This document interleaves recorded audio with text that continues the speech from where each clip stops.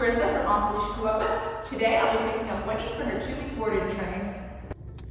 Winnie is a six month old Great Dane. She's a really great dog, just here to learn some basic obedience.